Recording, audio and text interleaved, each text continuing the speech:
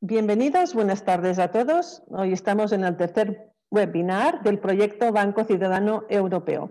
Yo, para las personas que no me conozcáis, soy, Neus Casajuana, presidenta de Rebo Prosperidad Sostenible, que es el partner en España de este proyecto, cuyo líder es Positive Money Bruselas.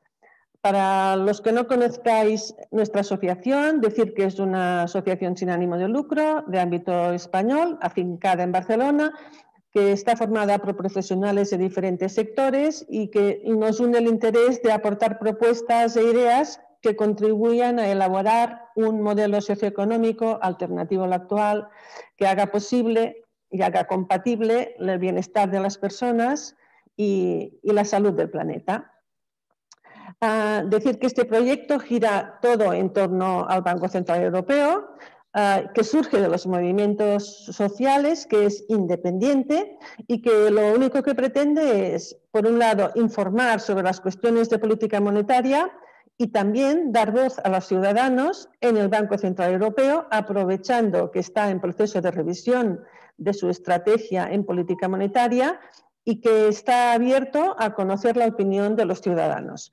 Entonces, por este motivo, nosotros pues, participamos en este proyecto que, como sabéis, está basado en una plataforma que ahora nuestra compañera Gemma, que trabaja en la plataforma y es coordinadora del proyecto en España, nos va a repasar en un momentito. Gemma, adelante.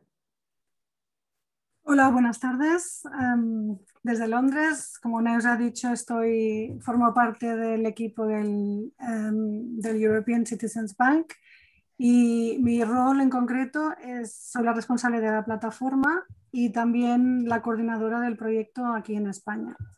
Em, os explico muy por encima el proyecto, en, el concepto del proyecto. Mm, como dice Neus, la idea es dar la máxima información posible a la ciudadanía y trasladar la voz de la ciudadanía al, al ECB, al eh, European eh, Central Bank.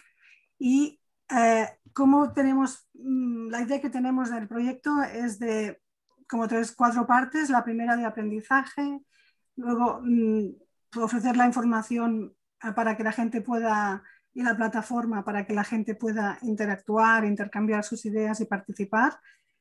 La tercera fase, digamos, es concretar esas ideas en forma de propuestas que van a ser posiblemente presentadas al, BCE. Y la cuarta, lo que decimos pasar, pasar a la acción, que es participar en la asamblea, la asamblea ciudadana, que es un taller deliberativo para que eh, se concreten las propuestas que van a ser presentadas al Banco Central Europeo en septiembre. Em, ¿Cómo trasladamos esto a la realidad? Pues eh, a través de la plataforma que hemos puesto a, vuestro, a vuestra disposición. Em, tenemos, os comento un poco las diferentes partes de la plataforma. Em, la primera parte explica un poco la forma que tenéis de participar, con todos los detalles, los manuales, cómo situaros, Em, etcétera. También nos habla de Rebo, eh, nuestro partner aquí en España. Y eh, a continuación ya entramos en, recogemos las preocupaciones ciudadanas, em, los enfoques que podría tomar el BCE y ya empezamos más concretamente con, con, con, propuestas que hemos recogido nosotros, además de propuestas que ya han empezado a salir de los ciudadanos que han participado en la plataforma. O sea que os animaría a que eh, miréis las propuestas que existen, las podéis ver, las podéis comentar y también, sobre todo, podéis crear vuestras propias aquí. O sea que esto está abierto para, para toda la ciudadanía, no solamente para los expertos, sino para, para que todos podáis participar. Y por último, comentar eh, la parte, digamos, la culminante de nuestro proceso, que es la asamblea. Em, la asamblea eh, es un taller de, como decía antes, de, seis horas, del 18, el viernes 18 de junio por la tarde y el sábado 19 por la mañana, en, durante el cual ofrecemos todo lo necesario para que se puedan contrastar ideas, razonar, discutir y mm, en definitiva, concretar, concretar las que se van a, llevar al BCE en septiembre. Y para hacer esto solamente tenéis que registraros aquí. Em, es un, cuestionario muy cortito para, más que nada, tener un poquito de, idea de qué, qué, tipo de participantes tenemos, siempre con la idea de seleccionar una amplia, un amplio espectro de, de lo que es la sociedad, o sea, lo máximo representativo posible y esto os animaría a que, a que os apuntéis y, os avisaríamos una semana antes para, para, saber si habéis sido seleccionados. Y con esto mm, le paso la palabra a Neus. Muy, bien, Gemma. Ah, pues entonces empezamos ya con el webinar. el título de este webinar es Democratización del Banco Central Europeo y de la Política Monetaria. Ah, hemos invitado a los siguientes ponentes, Ernest, uh, Ernest Urtasun Domenech, ah, que es diputado del Parlamento Europeo en la lista de Izquierda Plural, economista, político, diplomático y fue portavoz de Iniciativa para Cataluña, para Cataluña Verds. Ah, Jonás Fernández Álvarez, eh, diputado del Parlamento Europeo mm, dentro del grupo de la Alianza Progresista de Socialistas y Demócratas, economista, miembro del Partido Socialista Obrero Español. Jesús Manuel Otrilla, licenciado en Economía, dedicado al mundo educativo, presidente de Dinero Positivo y de Dinero Positivo, que es el representante de Positive Money justamente en España, pero también de otras asociaciones internacionales como Movement for Monetary Reform y Alliance for Just Money y Susana Martín Belmonte, economista, investigadora, escritora, especialista en reforma monetaria, en innovación monetaria y financiera, en monedas complementarias y alternativas. es, responsable, por ejemplo, de, la moneda REC en Barcelona. Ah, y finalmente os presento al, al, moderador de este, este webinar, ah, que es David Palomera, eh, economista, investigador, consultor en economía y políticas públicas y está realizando en este momento su tesis doctoral en el Instituto de Gobierno y Políticas Públicas IGOP en Barcelona. Y nada más, doy paso a David, que es el que nos va a moderar el, el, el. Adelante, David. Muchas gracias, Neus. Bueno, bienvenidos a todas y a todos. Eh, antes de empezar, enfatizar lo que comentaba Gemma, un poco esa participación en la Asamblea del 18-19 de junio, que puede ser muy importante para llegar, hacer llegar al Banco Central Europeo ciertas eh, demandas. Y nada, que está el enlace en el chat. Y nada, entonces, em, hemos pensado esta, esta sesión en dos bloques. Eh, girando en torno a la democratización del Banco Central Europeo en, un primer bloque trataremos la organización, su elección, sus miembros y la rendición de cuentas. Y aquí esperamos que Ernest y Jonás eh, nos puedan iluminar un poco y explicar y contar sus propuestas desde sus grupos parlamentarios. Y luego un segundo bloque sí que trataremos la democratización más en el diseño de las, políticas monetarias. Y aquí sí que Susana y Jesús eh, también eh, nos harán sus aportaciones. Igualmente, esperamos que si queréis intervenir en cualquier momento, en, cualquier bloque, sin ningún problema, ¿no? Entonces, eh, nada, eh, pasemos a, este primer bloque y para Ernest me gustaría preguntarle que nos explicara un poco el rendimiento de cuentas del Banco Central Europeo y a quién rinde cuentas y cómo lo hace, ¿no?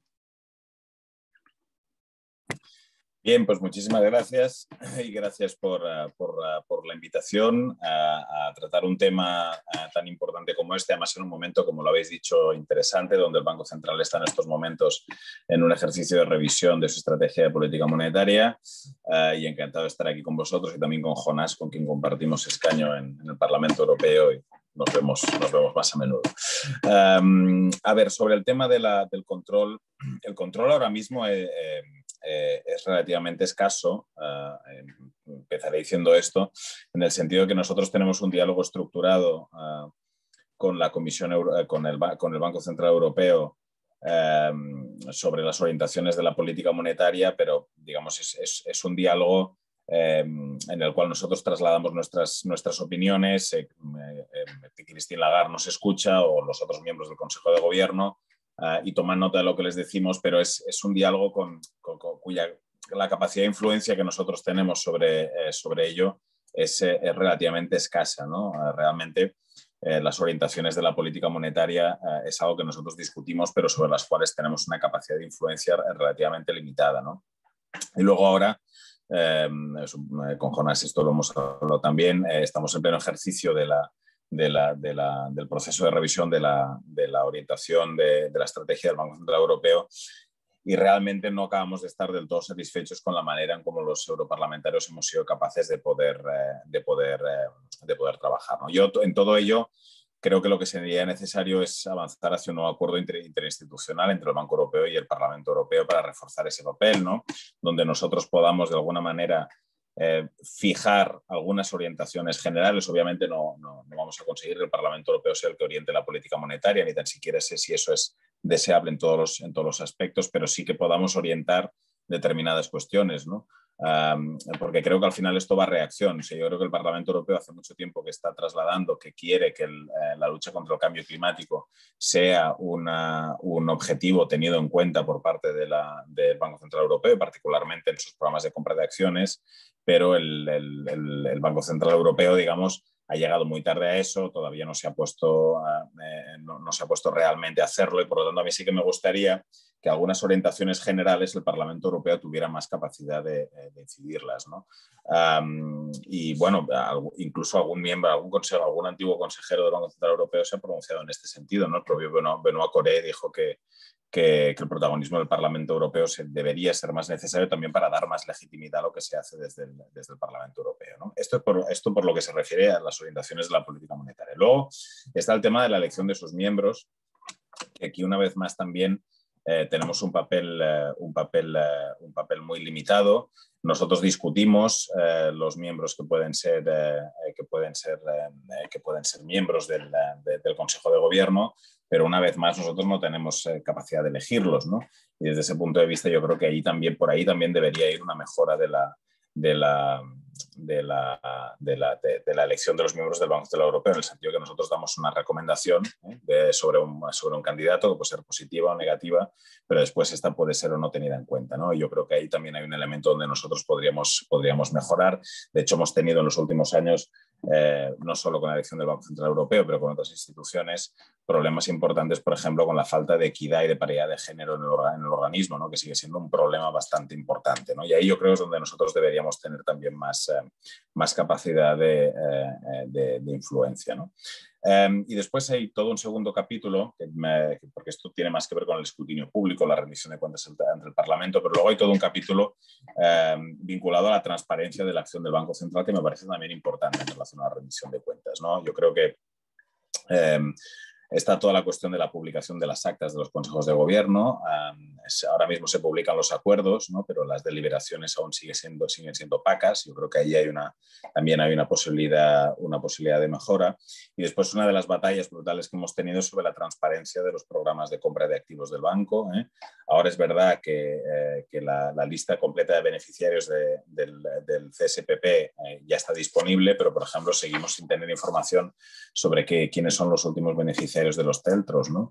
Eh, y eso sí que, de alguna manera, al banco, por el momento, pues no ha querido, no ha querido eh, abrirse a dar esa información. ¿no? Por lo tanto, tanto en la deliberación del Consejo de Gobierno como en la información, por ejemplo, con programas de compra de activos como Teltros, yo creo que ahí hay mucho margen de, mejora también. ¿no? Y luego yo creo que hay un último punto, quizá, y para no alargarme lo dejaré aquí, que también nos ha ocupado tiempo en, el, último, en los últimos años, que ha sido un poco la lucha contra los conflictos de intereses de los miembros del Consejo de Gobierno. Em, un caso muy conocido fue el de Mario Draghi, que formaba parte de este grupo conocido como el Grupo de los 30, ¿eh?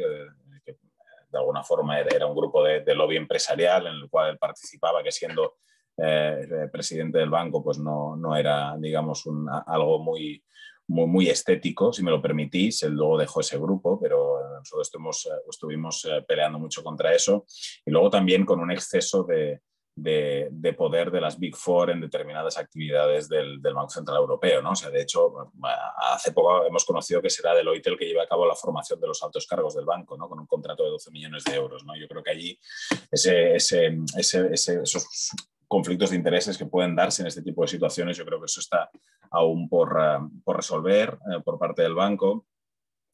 igual que unos estándares de protección mayor para lo que puedan ser los informadores, ¿no? que ahora tenemos una directiva para el mundo empresarial que protege a, los informadores de posibles prácticas, de malas prácticas o corruptas. En el caso del Banco Central Europeo, pues no, tenemos aún un marco también que los proteja, ¿no? y eso también debería ser una de las, de las cosas en las cuales avanzamos. ¿no? Bueno, estas son algunas de las ideas en las cuales, tanto en eh, rendición de cuentas como en transparencia, si avanzáramos, pues mejoraríamos sustancialmente el control del banco. Gracias. Vale, genial, gracias Ernest. Eh, yo creo que ha quedado muy claro una serie de tanto de deliberación y transparencia, ¿no? Como dos bloques muy importantes aquí. Y aquí yo creo que antes para la gente que nos está oyendo estaría bien un poco entender por qué la, deliberación y las decisiones eh, se realizan como un órgano autónomo, ¿no? Yo creo que hay que explicar un poco los fundamentos de eso para entender eh, por qué está diseñado así. Entonces hablemos un poco de la independencia del Banco Central Europeo ¿Y por qué, se, eh, cuando uno estudia economía ¿no? se habla de la independencia del Banco Central Europeo separada de los procesos democráticos como algo beneficioso? ¿no?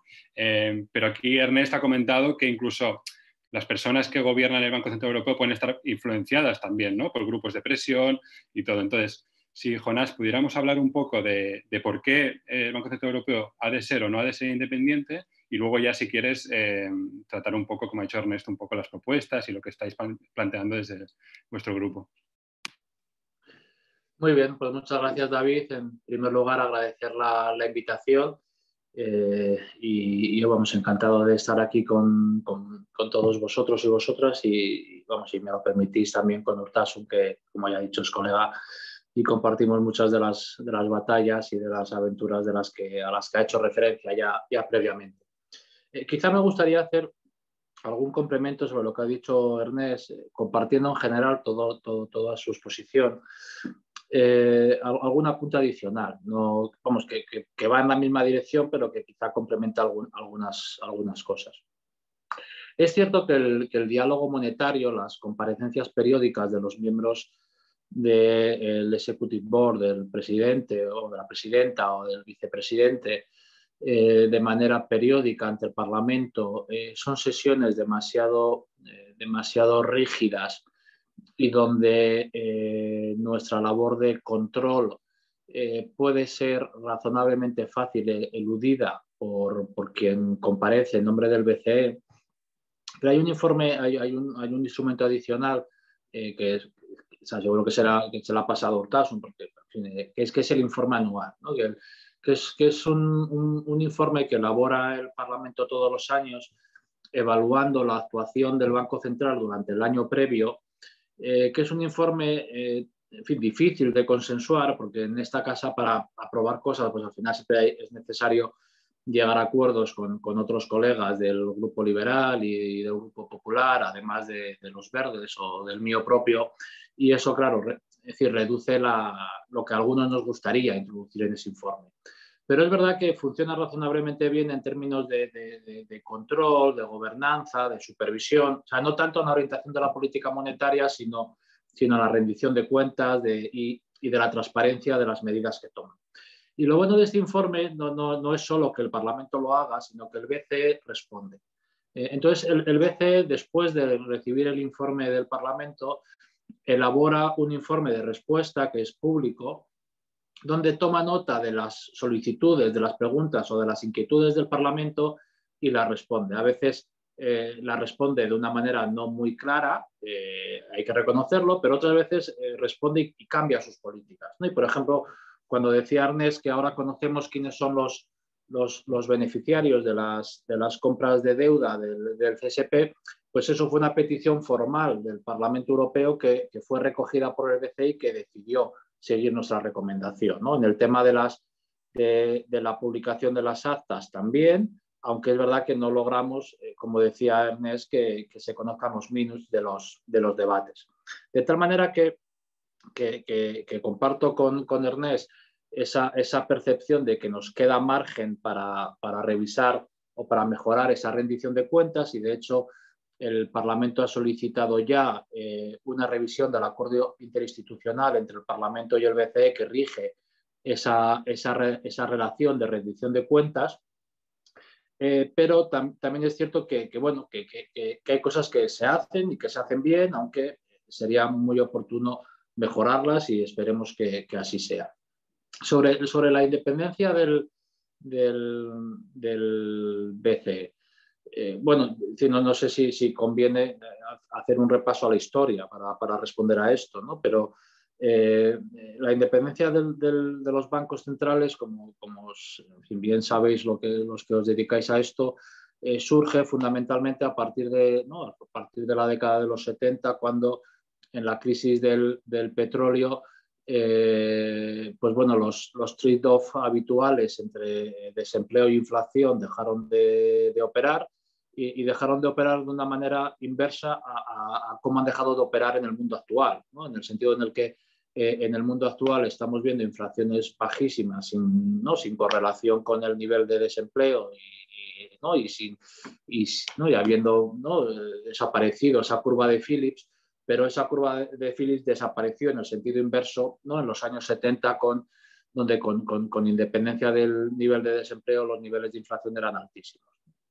Y eso eh, aconsejó que para eh, garantizar una estabilidad de precios, los bancos centrales eh, no respondieran a los ciclos electorales. Yo, creo que hay un matiz también sobre el nivel de democratización de los bancos centrales, eh, porque quizá podríamos decir lo mismo de, la democratización de los tribunales constitucionales o bueno, del resto de, instituciones que, operan en una, en una democracia liberal donde algunas de ellas son de representación directa, eh, como es el Parlamento y, ¿no? y el Gobierno, que es, que es elegido por ese Parlamento, y otras instituciones que son independientes, pero en el marco de, una definición legal establecidos por, por la soberanía popular del, Parlamento, eh, que define cuál es el marco de actuación de esas instituciones independientes, como son los bancos centrales, eh, sujetos a un mandato democrático. ahora bien, ese mandato democrático se opera de una manera técnica, podríamos decir, porque la, experiencia de aquellos años previos es que eh, pues la, influencia de los ciclos electorales tenía una influencia muy negativa sobre los propios ciclos económicos y aconsejó delegar la implementación eh, de, una, de, unos objetivos definidos democráticamente. ¿no? Eh, ¿Hasta qué punto esto sigue siendo siendo válido hoy en día? Bueno, yo, yo, sigo creyendo en la, necesaria independencia de los, de los bancos centrales, pero sí, con un, y también creo en una redefinición de ese marco democrático de definición de objetivos de los que podemos hablar a continuación. ¿no? Es decir, no, no, no, no, no significa que el statu quo, no significa que, que, creer en la independencia de los bancos centrales sea mantener el statu quo, porque en mi opinión lo que hay que, lo que, hay que hacer es reformar la manera en que se delimita el, mandato, ¿no? el marco donde los, donde los bancos centrales operan bajo esa independencia, y hablaremos a continuación más tarde de ello si, si queréis, pero es verdad que, fundamentalmente a partir de la crisis financiera de hace ya una década y aún más en la actual, el, tamaño de los balances y su influencia sobre eh, múltiples aspectos de, de, la economía y de la sociedad y, por ejemplo, también a los niveles de desigualdad sobre los que sobre los que tiene efectos las, políticas monetarias, eh, aconsejan, en, mi opinión, como digo, una revisión eh, muy profunda del, marco, ¿no? del marco establecido en virtud de criterios de democracia, ¿no? de democracia directa, en el sentido que, que los, eh, las personas representativas, los diputados, las personas electas definan de otra manera cuál es ese marco de autonomía eh, y, creo que por ahí debería ir. Tampoco me quiero, me quiero enrollar mucho más. No, genial. Eh, yo creo que lo ha explicado muy bien. Y bueno, supongo que la curva de Phillips, mucha gente que nos escucha eh, no la sigue tanto, pero bueno, yo creo que, se entiende un poco esa historia, ¿no? De, cuando se cuando se apuesta por la independencia, cuando hay grandes problemas donde no quieres poner la política monetaria sujeta, digamos, a los ciclos políticos, porque se entiende que hay unas, pero yo que veo el problema aquí, entonces, como lo que comentaba Ernest, es cuando el que controla o las personas que eh, dirigen las instituciones, que son personas que pueden, digamos, que siguen teniendo, que sigue habiendo política, digamos, ¿no? O sea, en, la política monetaria, digamos, las decisiones siguen siendo siempre políticas y me ha gustado lo que planteas entonces de, bueno, cómo definimos ese marco ¿no? de, gobernanza un poco, eh, sin, pensar en que sea el Parlamento Europeo quien está dentro del Banco Central Europeo, tal vez. Entonces aquí me gustaría, eh, no sé si Susana eh, o Jesús, si queréis aportar algo en todo lo que han dicho. Sí, si me permites, Susana, como ha señalado Jonás, el tema de la independencia lo que hay es no que quitarla, el, concepto de la palabra, sino redefinirla, efectivamente. Y digamos, nosotros en nuestras asociaciones lo que pensamos es que sí, el, Banco Central Europeo tiene que tener obligatoriamente su marco de independencia para que evitar, es la maquinaria de, generar dinero, luego ahí no puede entrar eh, nadie gratuitamente a, trincar esa máquina, evidentemente, en ese sentido tiene que ser independiente pero no puede ser independiente, por ejemplo, de los objetivos de la Unión Europea. Eso no, tiene sentido. El caso, lo cierto es que se avanzó un poco cuando se añadió en el mandato, eh, que al principio solo se refería a la estabilidad de precios, luego se añadió, sin perjuicio de la estabilidad de precios, eh, bueno, el Banco Central Europeo también apoyará las políticas de la Unión, etcétera, etcétera, pero sigue con la primacía de la, de la estabilidad de precios. Yo creo que la, independencia no se debe entender por ahí, por ser independiente de los objetivos de la Unión Europea. Susana, ¿tú quieres añadir algo aquí?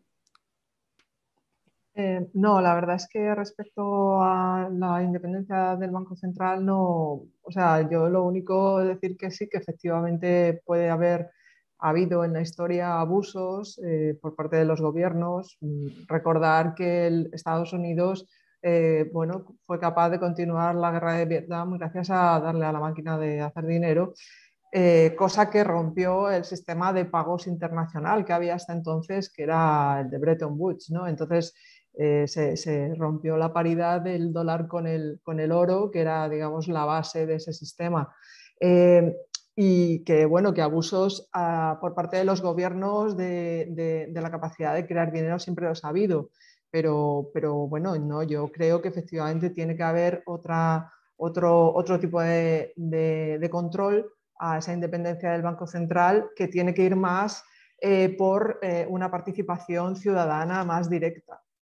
Es decir, por eh, implementar mandatos mucho más transversales que los que llegan desde los partidos políticos o desde los gobiernos aunque tengamos a dos eurodiputados aquí con, sus, partidos políticos, por supuesto, pero eh, creo, que, creo que viene más por, o sea, yo, yo abogaría más por esta, por esta propuesta.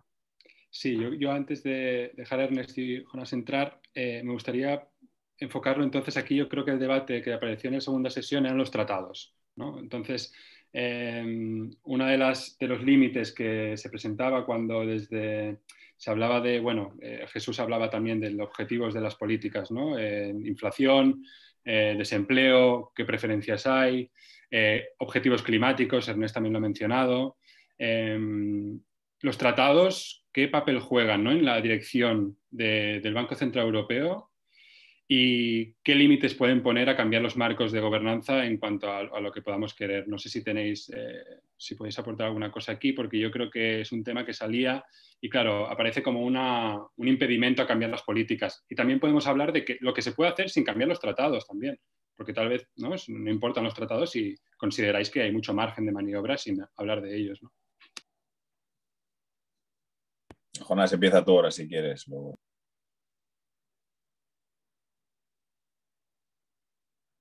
Sí, como, como quieras. Em, vamos, yo creo que en general vamos a estar casi en todo acuerdo, Ernest y yo, aunque pues, nos vayamos matizando eh, no mutuamente, que, además es necesario porque muchas veces cuando ahora se te pasan cosas que, está bien que, se complementen. Eh, en, mi opinión, y yo no sé si esto es una pregunta más adelante o en esta pregunta, em, hablando de esa redefinición del, del, marco democrático que define la independencia, una de las, y hablando a título individual, porque me habéis pasado alguna pregunta de tu grupo político qué opina, mi, intervención aquí es a título, a título individual, eh, con la representación que pueda tener, pero, pero en fin, mi grupo todavía no, en algunas de esas cosas no, no tiene una posición, y por lo tanto no, no puedo hablar en, su nombre.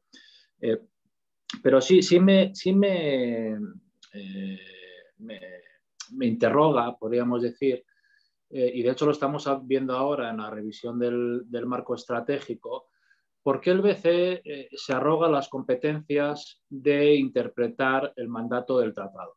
Es decir, el, mandato del, tratado fija que, el, objetivo, eh, primario de la política monetaria es la estabilidad de precios, después tiene objetivos secundarios, entre, otros colaborar, eh, cooperar en, la consecución de los objetivos generales de la Unión y ahí entra el, ¿no? el combate al cambio climático o maximizar la tasa de crecimiento o, ¿no? este trade-off sobre desempleo e inflación, eh, pero claramente primando la inflación. Yo creo que, que el debate este de, los mandatos de los mandatos duales, como digo, en la medida en que en estos momentos estamos, y parece ser que durante un tiempo, en, en, una situación de inflaciones muy bajas, no correlacionadas con el nivel de desempleo, o sea, no es una cosa que me preocupe en demasía, es decir, es decir tener un mandato doble o no.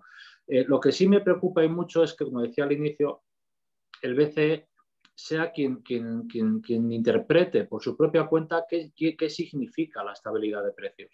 Eh, porque es el BCE en, un proceso tecnocrático. Eh, es verdad que en esos momentos ¿no? ha abierto el proceso a la participación de la sociedad civil y tal, que me parece muy bien, pero que también es, esa apertura a la sociedad civil, por otra parte, como decía Ernest antes, está haciendo que, los representantes de la soberanía popular estemos teniendo bastante poco que decir ahí y a mí esto me preocupa más. No, se puede usar una cosa para,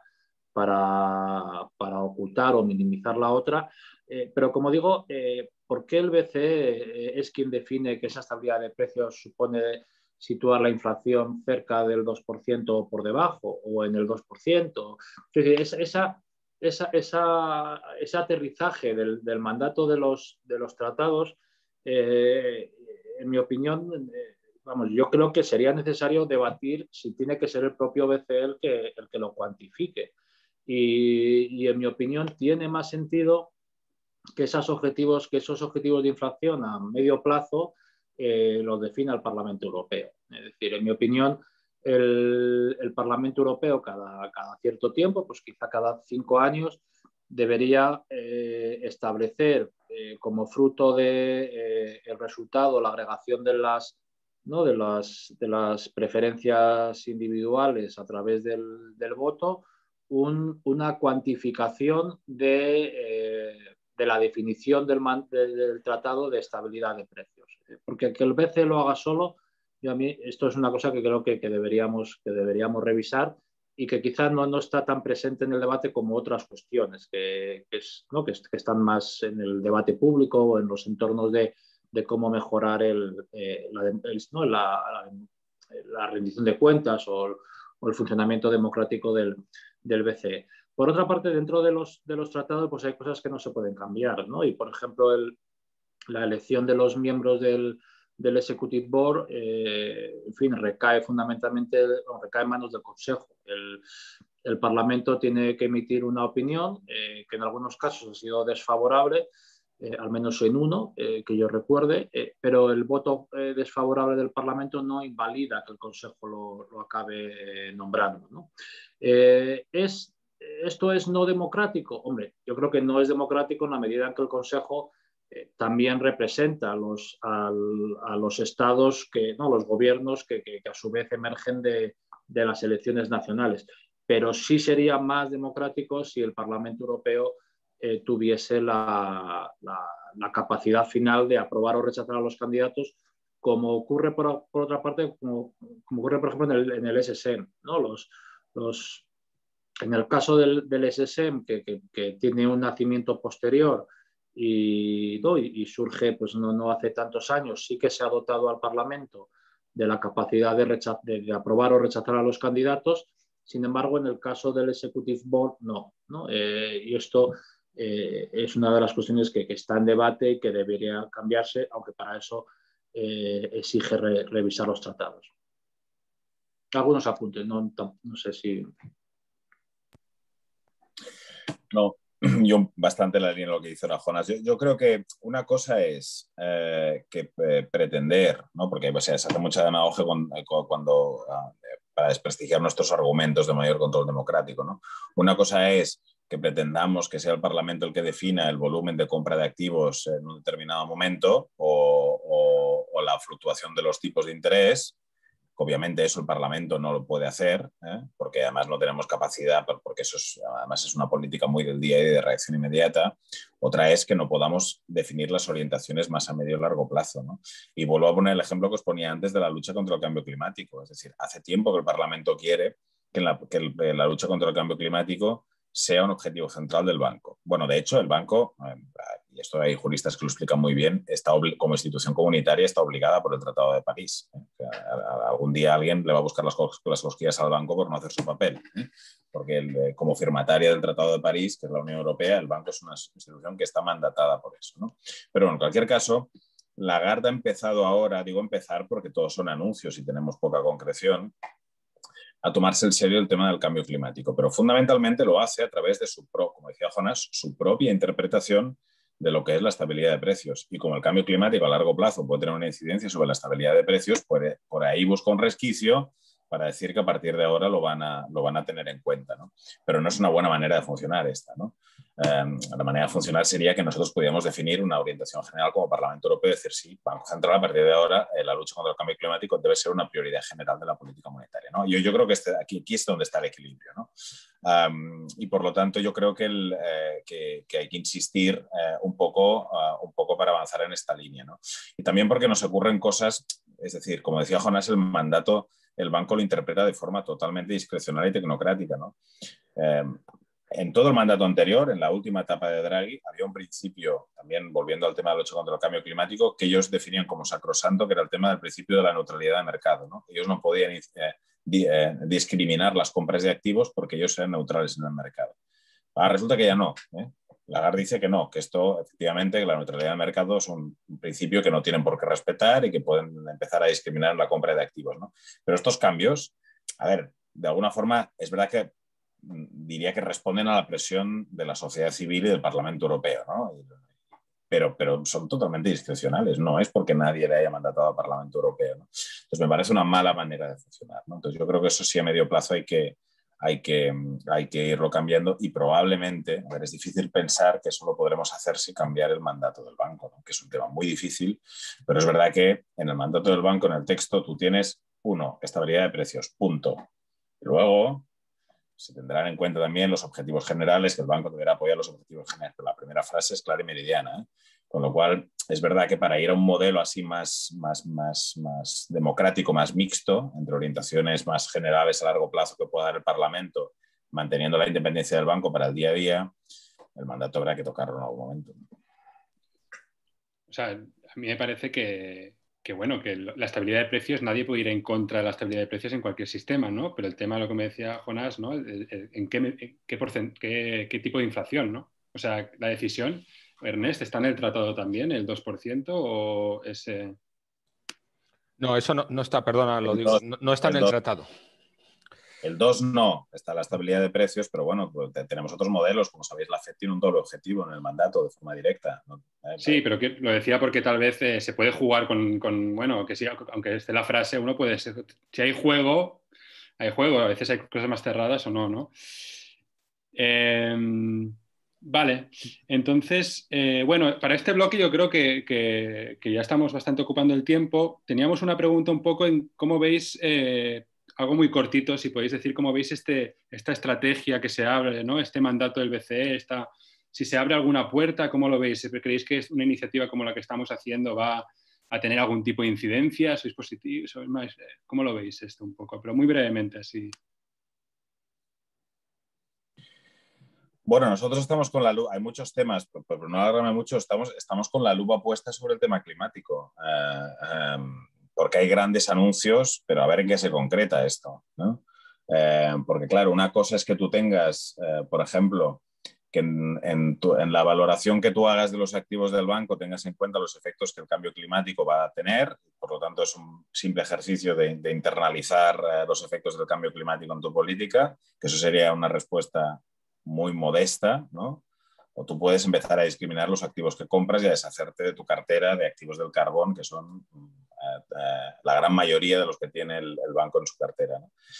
Y bueno, no, sé, no sabemos hacia dónde va a ir esto, ¿no? Y ahí hay una, sabemos que hay una, una, discusión bastante gorda. La Lagarde es muy contundente en el mensaje político que lanza cuando viene al Parlamento Europeo sobre el tema, pero en qué se va a concretar, eh, quizá Jonas tiene más información que yo, pero me da que de momento es una, una gran incógnita.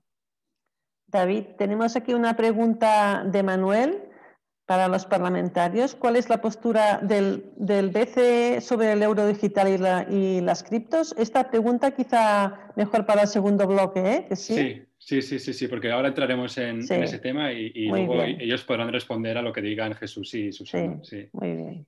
Sí, Jonás, si quieres decir algo de esto. Sí, vamos, el, eh, no, yo, no, yo no quitaré yo la bandera de lo verde a los verdes, no, no, no, no creo que sea eh, mi trabajo eh, pero eh, simplemente acompañar que, que, mi grupo también ¿no? coopera con, con, con, la preocupación primordial de los verdes y, digamos, no, no quiero competir con ellos en, ver quién es más verde. ¿no?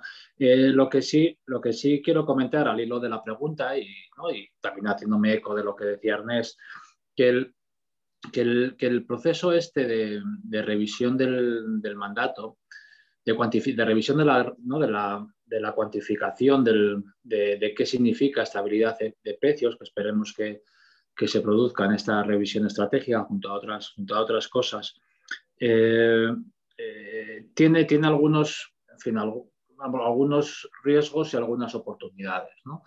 En, los últimos años, Draghi decía que él interpretaba ese 2% por, por debajo como un mandato simétrico, eh, lo cual da, da, da ejemplo de, de cómo incluso el BCE, que, cuantifica su propio mandato, lo puede interpretar como, como, lo considera oportuno, porque aunque nos viniera bien que él considerara esa cuantificación de manera asimétrica, vamos, yo por mucho que lo leo, lo veo claramente asimétrico. ¿no? Entonces, el, BCE decide por su cuenta cuál es el, ¿no? el objetivo cuantitativo del mandato de los tratados y además decide interpretarlo como considera oportuno. ¿no? Que como digo, nos vino bien esa interpretación pero que no, que no en mi opinión, no, no, no, no emergía claramente de lo que, de ese cercano al 2% por, por debajo. ¿no? Claramente no es, no es simétrico. Entonces, eh, oportunidades, yo creo que, que, hay que ir a, a, un, objetivo simétrico, vamos, un objetivo simétrico, eh, que probablemente la, el cambio de la Reserva Federal en términos de, de la inflación a medio plazo, la inflación promedio también debería eh, incorporarse a, esta revisión del BCE, eh, entre otras cosas porque vamos a salir de esta crisis con unos, niveles de deuda eh, muy elevados y, es conveniente, en mi opinión, que, que, en el medio plazo podamos ver a inflaciones algo más elevadas del 2%, porque medidas en términos promedios seguiríamos estando en el 2 o por debajo, habida cuenta de, la inflación de estos últimos meses o de los últimos años donde, donde el BCE no ha cumplido su mandato, ¿no? porque cerca del 2% no es el 0,9, ni el 1, ni el 1,2, ni el 1,3, donde nos hemos movido en los, en los últimos años. Eh, hay, hay un... Ah, y por otra parte, yo creo que es importante también eh, elevar, es, decir, eh, elevar algo la, la inflación eh, porque antes de esta crisis estábamos en el debate sobre el estancamiento secular y la caída de los tipos de interés eh, reales a medio plazo, que, exigía otro tipo de política fiscal, por la que al final Europa ¿no? ha acabado entrando, pero a raíz de la, crisis, no a raíz de los problemas ya de insuficiencia de inversión que veíamos antes. Eh, y por lo tanto yo creo que elevar, que, irnos a, algo más del 2% durante un tiempo nos puede ayudar también a, elevar esos tipos de interés eh, naturales y por otra parte dar más margen, ¿no? que es ¿no? habida cuenta del, ¿no? del, del lower bond, vamos, del, del, ¿no? de esa imposibilidad de, de, bajar los tipos de interés del 0% durante mucho tiempo y, y, por lo tanto limitar la capacidad de la política monetaria para responder a, a recesiones. Yo creo que, que, las oportunidades deberían ir por ahí, veremos a ver cómo, cómo acaba el asunto. Los riesgos, eh, es, en mi opinión, se concentran, puede haber otros, pero hay uno que me preocupa especialmente, que es el debate sobre la introducción del precio de los, de los activos o especialmente de los activos inmobiliarios en, eh, en la definición de la inflación. Eh, yo creo que hay, que hay argumentos hay argumentos políticos razonables para elevar el peso de, los precios de los alquileres y de las viviendas en, los, ¿no? en las series de inflación, eh, porque, porque ciertamente eh, yo creo que, que, representan un porcentaje del, consumo, ¿no? del, gasto al final de las familias eh, superior al que está en estos momentos en, los índices armonizados.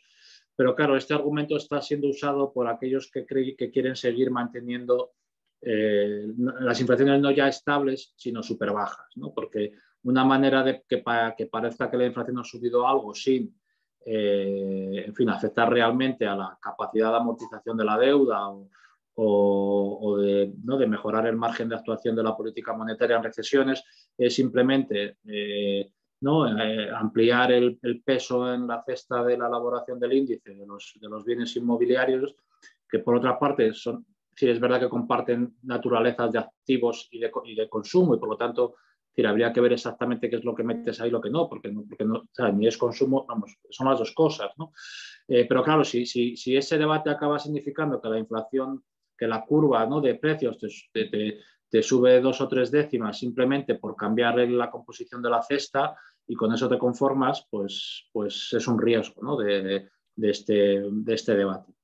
Eh, eh, por lo tanto, aquí que dejo. Sí, sí, porque como estás hablando ya de, las políticas monetarias y qué implicaciones tienen también, yo creo que podemos hablar de las implicaciones y hablar, también aumentar un poco el marco, no ir a un poco a lo eh, muy técnico, intentemos, y, hablar un poco de, qué implicaciones tienen eh, las políticas monetarias eh, para, digamos, para las cuestiones democráticas y de distribución.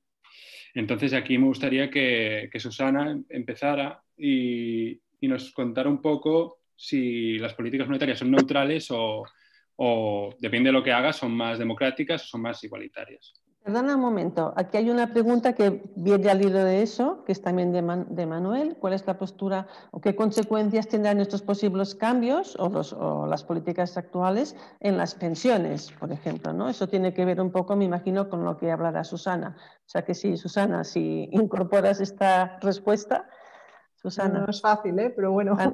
Eh, bueno, em, efectivamente yo creo que a nivel distributivo eh, hemos visto en el webinar pasado que eh, evidentemente la flexibilización cuantitativa, o sea, la inyección monetaria eh, con la compra de activos por parte de los bancos centrales mm, que ha ocurrido sobre todo desde, desde, mm, desde la, digamos, la postrimería, las postrimerías de la, de la crisis financiera de 2008, pues em, tiene efectos distributivos, o sea, benefició claramente a los poseedores de activos en contra de los que no poseían activos, es decir, a los que tenían eh, algo mm, eh, en, contra de los que no, tienen nada. ¿no?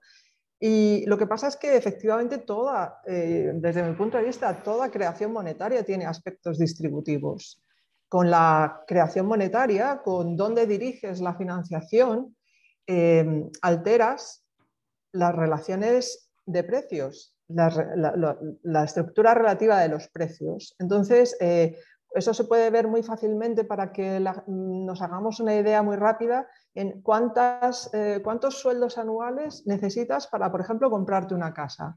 Esa relación de lo que cuesta el trabajo, que son los sueldos, en relación con lo que cuesta una vivienda pues es una, es una manifestación de esas estructuras relativas de precios que se ven totalmente alteradas con, la forma de inyectar dinero en la economía. O sea, con la inyección de dinero en la economía tú puedes financiar, por ejemplo, la creación de, la, o sea, la, producción de un bien de consumo y normalmente eso hará que el bien de consumo baje de precio porque a más oferta pues eh, a la misma demanda o pues eh, normalmente eh, hará que eso normalmente hace que los precios bajen. Sin embargo, si ocurre, si, esa inyección monetaria va a financiar otro tipo de bienes, como son pues la vivienda, que es un, es un, bien de primera necesidad, pero también se ha convertido en un activo especulativo.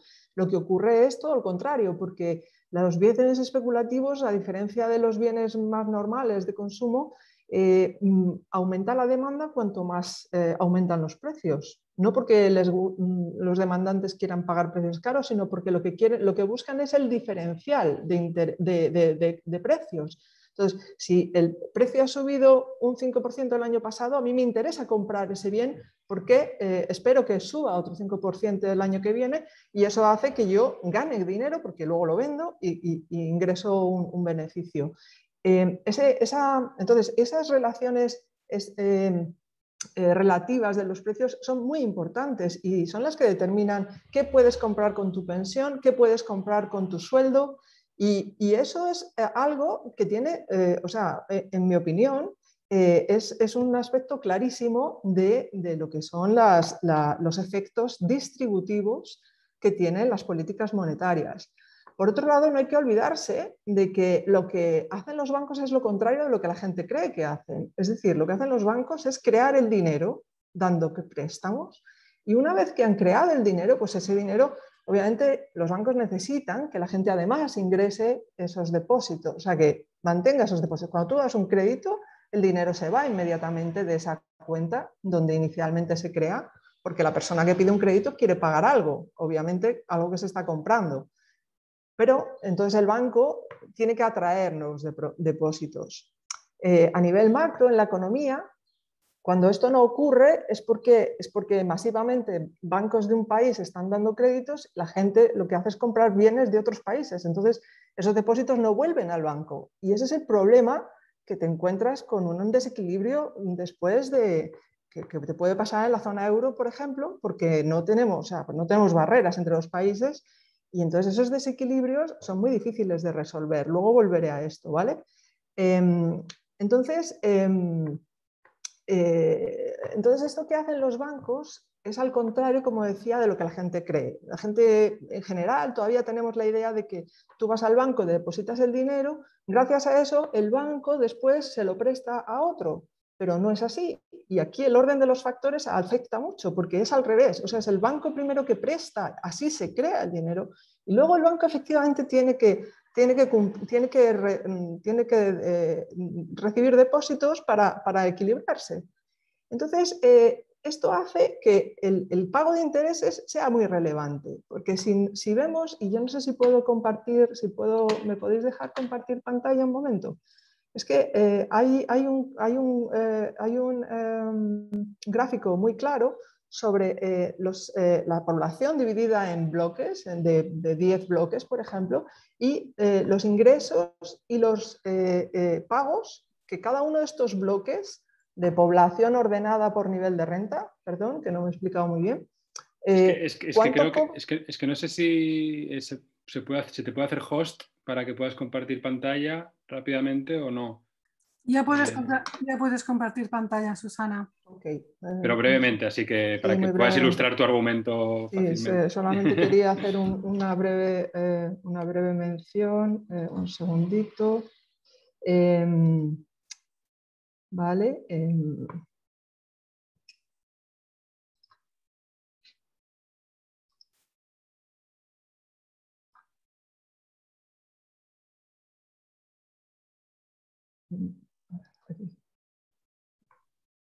¿Estoy compartiendo o no? Sí, ahora estoy compartiendo, sí. Bueno, esto es, un, esto es una pequeña, esto es un, un, gráfico que hizo Margaret Kennedy en 1998 en un libro que se llama Dinero sin inflación y sin intereses, que era lo que ella proponía. Aquí vemos lo que es estos 10 grupos de población ordenados por nivel de renta, o sea, el 1 son los más pobres y el 10 son los más ricos, el tipo de, o sea, los pagos y los ingresos que hacen de, de, intereses. O sea, en concreto, cuánto interés pagas tú y cuánto recibes. Porque en teoría, pues eh, eso es lo que, lo que el banco hace con esta política de, de, dar créditos, eh, de crear el dinero dando créditos. O sea, estamos diciendo aquí que tú crees que cuando el Banco Central Europeo está comprando eh, la deuda a los bancos, la deuda pública, ¿esto aquí estaría influenciando, digamos, en... estaríamos hablando de diferentes, clases, de diferentes clases. No, estoy hablando del mecanismo de creación, eh, de creación monetaria por parte de los bancos, que es digamos, lo que el Banco Central Europeo arbitra. Estoy haciendo un poco un, mini argumento para algo que quiero explicar después a nivel, a nivel de distributivo.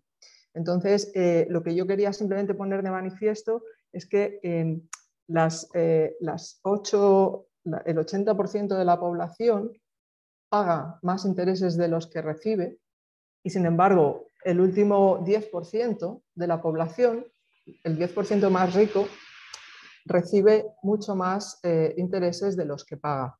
Esto es eh, otro de, los, de las eh, evidencias que además se pueden, se pueden ver. este es un gráfico más reciente de 2011, elaborado por Gilles Torrens, Mm, en, el cual se puede ver exactamente, eh, exactamente la misma realidad. O sea, eh, eh, la, gente más pobre paga mucho más de lo que recibe de intereses y el 10% último recibe muchos más intereses de los que paga. Es decir, que estamos ante una forma de creación monetaria que está teniendo efectos distributivos muy importantes y que está alterando, aunque pasa es que lleva tanto tiempo haciendo lo que casi lo hemos dado por, normal, eh, pero que está afectando enormemente a nivel distributivo. Y ya acabo, ¿vale? Voy a dejar de compartir. Ahora, ya, veo, dónde va tu, por dónde va tu argumento, ¿vale? ahora ya veo dónde te estás dirigiendo. Y, por último, déjame simplemente formular la propuesta. O sea, para mí la propuesta claramente es que eh, eh, junto con todos estos objetivos de inflación, etcétera, que el Parlamento eh, europeo debería poder eh, manifestar al Banco Central Europeo. Desde mi punto de vista, eh, tendría que el Banco Central Europeo y los bancos centrales en general tendrían que hacer un estudio de los efectos distributivos esperados de cada una de sus decisiones en materia de política monetaria. Una vez realizada esa política monetaria, debería haber una evaluación independiente una auditoría de los efectos distributivos de cada una de esas políticas monetarias. Por parte de alguien externo, obviamente, porque ellos eh, harán las cosas lo mejor que puedan, pero a la hora de evaluarse a sí mismos, pues pueden ser mucho más indulgentes que un, alguien externo que elabore una auditoría, ¿no? Y por último, eh, deberían responder a los objetivos de la Unión Europea que marquen en este aspecto, ¿no? en, temas distributivos. O sea, debería, eso es un indicador que deberíamos empezar a manejar. Entrar a Jesús, dejamos entrar a Jesús, que si no se nos come el tiempo. Perdón. Eh, sí, sí, no, no, yo creo que, que, has hecho el argumento, lo has establecido muy bien. Y totalmente de acuerdo contigo, Susana. Sí, o sea, eh, una de las razones por las que fundamos nuestras asociaciones, Positive Money, Dinero Positivo, Monetative en Alemania, etcétera, era para decirle a la gente que el sistema monetario en el que está y cómo se diseña y cómo funciona tiene unas enormes eh, repercusiones sobre su vida cotidiana. Y las ha explicado el, eh, Susana eh, por esa no neutralidad en la manera en la que se crea y la que se introduce el dinero en la economía. No es neutral, no puede ser neutral. ¿vale? Simplemente por reforzar lo que dice, una especie de palabras cliché para que la gente lo recuerde. Estamos en un sistema de dinero-deuda. El dinero se, se produce en forma de crédito que endeuda a las familias, a las personas. De ahí se saca una conclusión. A quien más tiene, más se le da. Y a quien menos tiene, pues eso incluso lo puede perder. ¿Por qué? Porque lo que tú tienes es lo que suele servir de colateral y además suele ser la, vivienda habitual en el caso de las personas de clase media y baja, es lo que sirve de colateral para eh, reforzar esa, para respaldar esa, avalar ese crédito que pides. Al que tiene nueve casas, diez casas, eh, un millón de euros, 50 millones de euros, encima se le da crédito, mucho más crédito que al que tiene muy poco, que se le va a dar muy poco crédito y además va a poner su casa como aval, con lo cual va a estar en el filo de irse a la calle enseguida. Lo que hace este sistema de dinero-deuda es que sobre una desigualdad así, al de arriba le llevo más arriba y al de abajo le llevo un poquito más abajo, y en una situación además límite continua. ¿Vale? Luego está, además se añade los sistemas actuales de trading, que encima también premian al que tiene muchísimo dinero, porque los que, si tú tienes muchísimo dinero, puedes aguantar pérdidas mucho tiempo y luego puedes tener un efecto rebote que te lleve a unas ganancias espectaculares y encima te forras. Por eso hay gente millonaria que en las situaciones de crisis lo que sea termina multimillonaria. Si no tienes dinero, no te puedes, eh, no te beneficias de eso. Si tienes mucho, del inflado que hay ahora de los mercados financieros, también te beneficias. Ese es el primer, el primer efecto que tiene. A quien más tiene, más le da. Y al que tiene poco, incluso se lo puede quitar.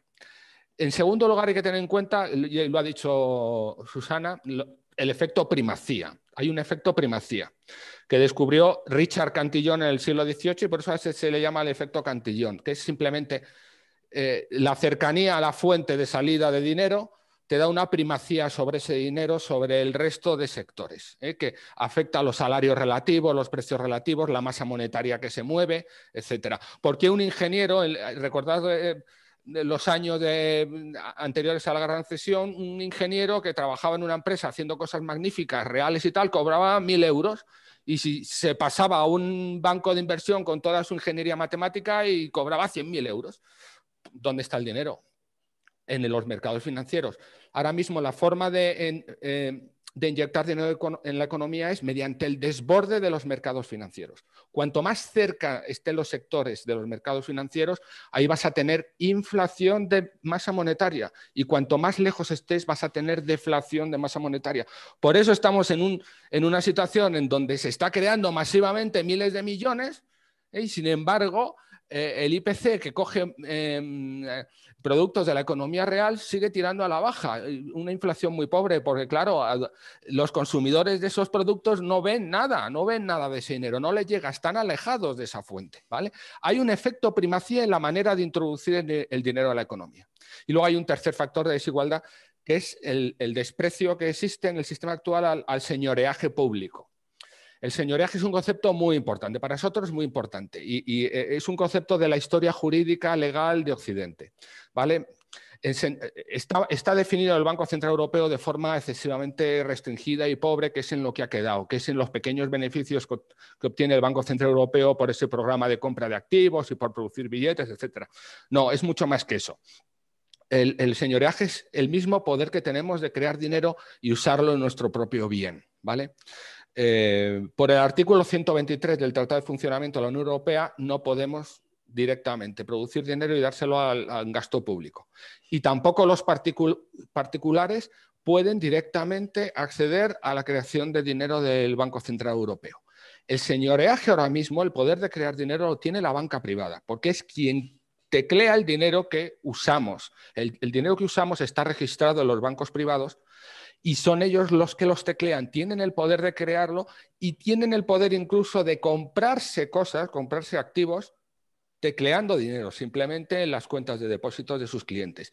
Ese señoreaje lo hemos perdido y en mi opinión el artículo 123, y eso sé que es muy complicado eh, y hay que llevarlo al mundo de la política, no se puede hacer en la revisión del, Banco Central Europeo, el artículo 123 eh, se tiene que reconvertir en un acuerdo político sobre el uso del señoreaje en la Unión Europea.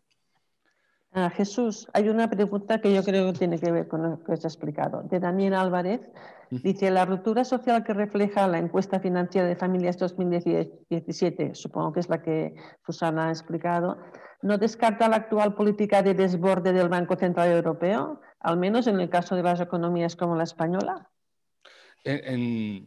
a ver, ¿en, qué sentido? O sea, es que la encuesta no se no, me imagino que viendo, que viendo el resultado de esta encuesta, ¿no? si la política, tal como yo entiendo esta pregunta, ¿eh? si la política del Banco Central Europeo del desborde, esto que hablabas tú, de, dar mucho dinero a los bancos ¿no? para que alguna cosa llegue a los demás, ¿no? si esto no descarta ya la forma de distribución.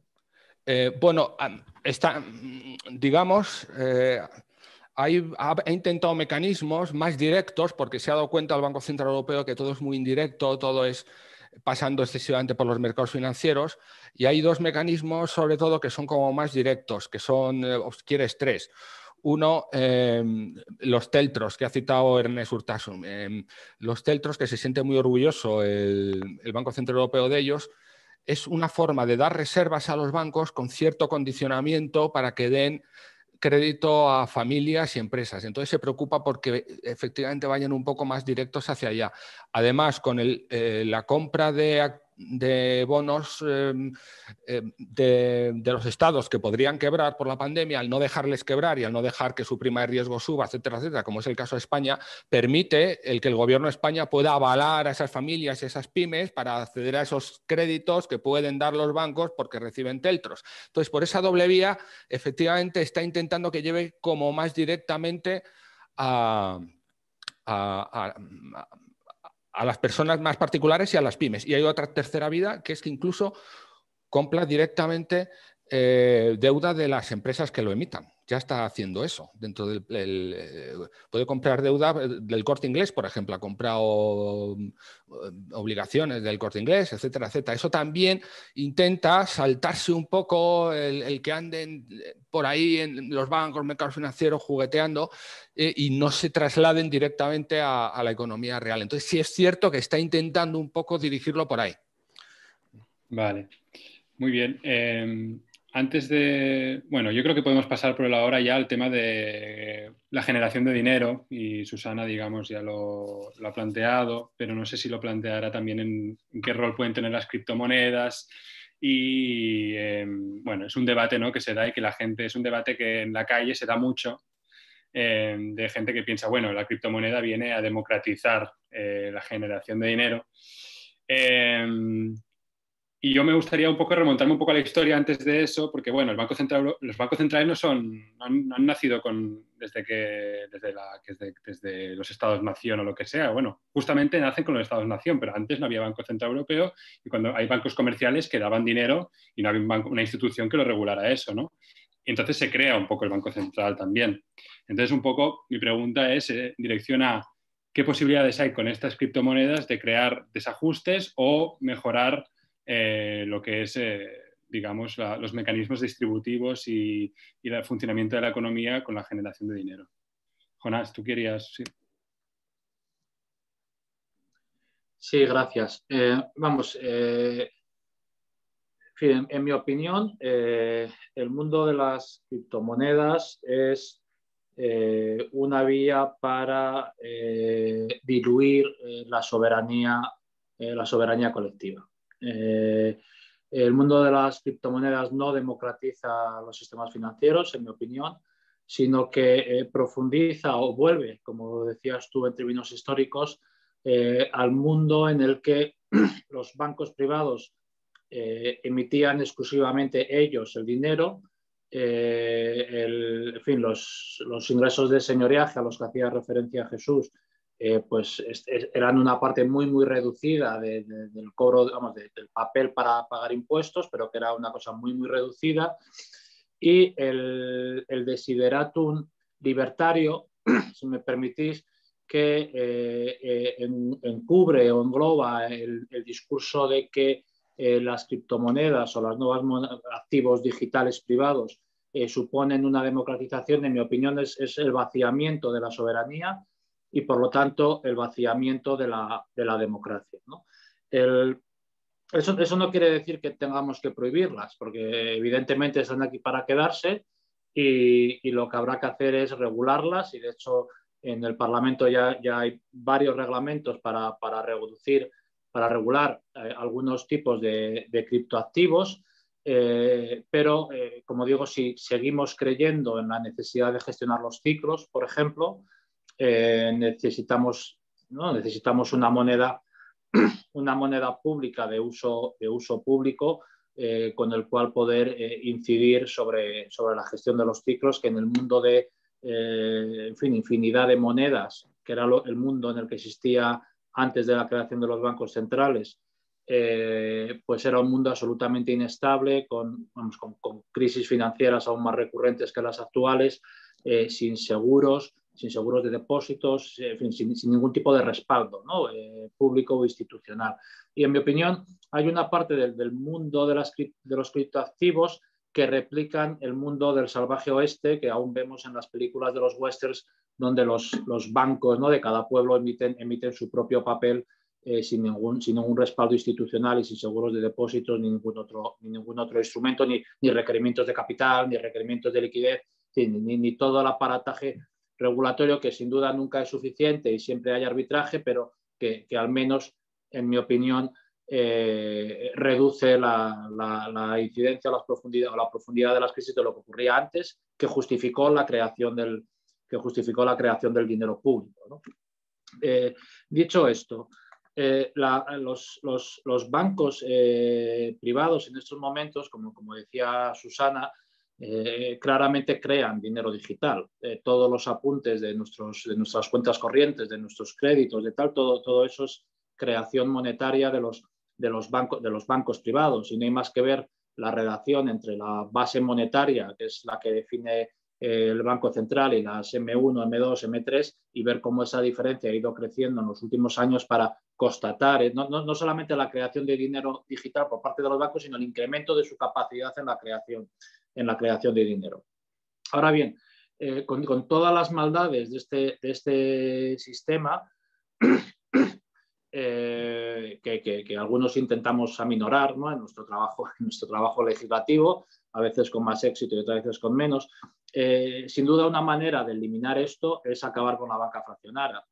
¿no? Eh, podemos podemos eh, convertirnos en, en, en austriacos, en, economistas austriacos, iglesia en la que no, en la que no milito, y acabar con la, con la reserva fraccionaria de, de los bancos privados y volver al patrón oro, ¿no? O nos podemos inventar el patrón Bitcoin, que puede ser otra cosa similar, ¿no?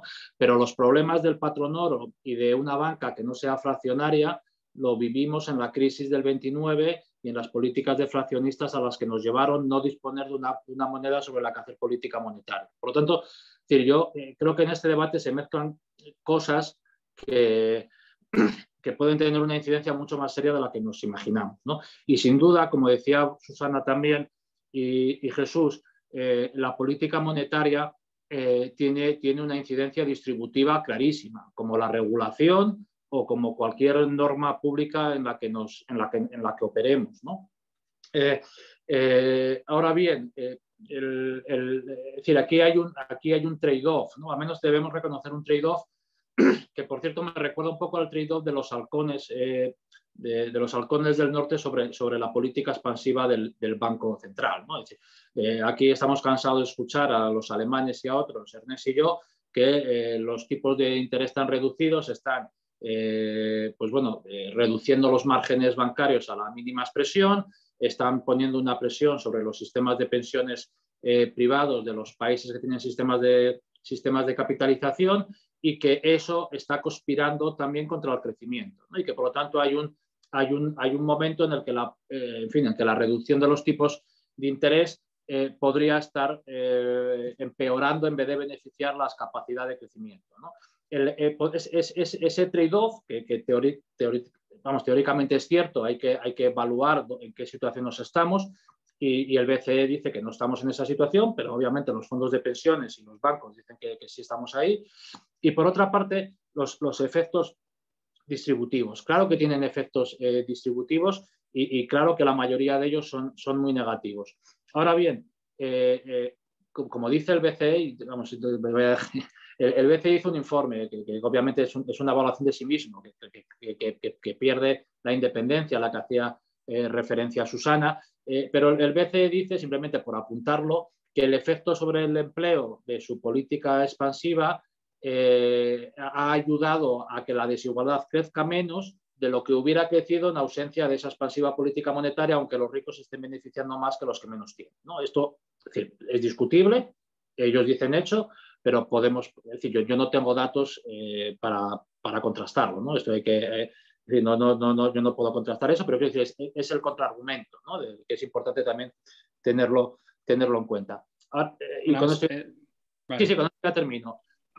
Eh, estos efectos distributivos de la, del sistema financiero de la, o de la política monetaria tienen un corrector claro en la política fiscal y en los sistemas tributarios.